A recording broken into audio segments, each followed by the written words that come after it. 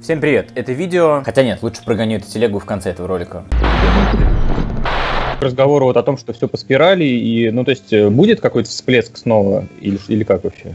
Какие-то Ну смотри, э, спираль все-таки она видна. Вот, например, World Ways, мне дичайше нравится команда. Коровая группа, ну, там, конечно, там не совсем это прям адский там металл, но тяж, тяжелая, и, соответственно, не, соответственно, она никак не, по, не подходит под рамки там эмо-кор, там какой-то, не знаю, нормальный такой, новый металл, новый, модный, молодежный.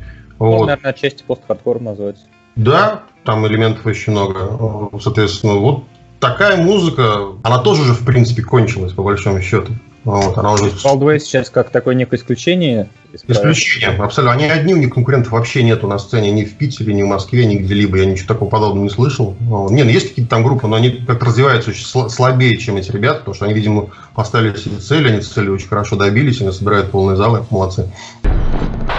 Ну да, ну и как ты думаешь, вот э, появилась группа Wildways, ты говоришь, что это как исключение из правил, то есть это не может быть, э, нельзя это расценить как какой-то звоночек, что вот такие группы снова могут собирать там тысячные залы? Yeah, потому что, как бы, ну, вот я не вижу, э, как грубо продолжателей, да, этой, этой волны.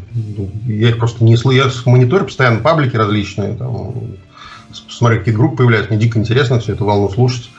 Вот. Но ну, нету их, нету чего. И не будет, мне кажется, развития дальше. С Wild закончится, ну, может, что-то еще такое появится, сиюминутное, оно исчезнет. Нету пока ничего. Перспективы такие достаточно мрачные. Мрачные, да. Именно в рок-музыке мрачные. Понимаешь, потребитель этой музыки у нас слишком мал.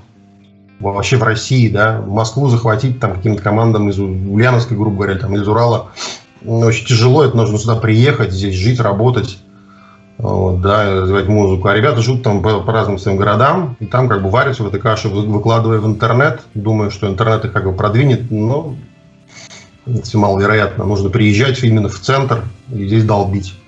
Вот, а ну, я говорю, это мало кто хочет. Вспомним психию, да, когда ребята приехали с Кургана, приехали жить, что они добились. Ребята из Валдвейс то же самое, они приехали, добились. Вот. А мы, которые здесь как бы варимся, да, ну, поварились, поварились, побурлили, побурлили и кончились. То, что ну, все хорошо.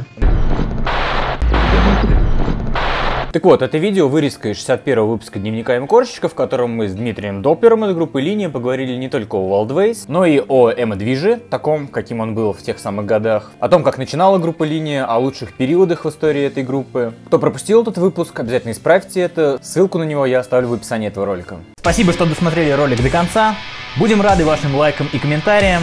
Будем благодарны, если подпишетесь на канал, нажмете на колокольчик или расскажете об этом ролике на одной из своих страниц в соцсетях.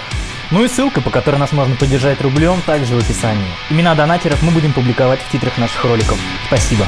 No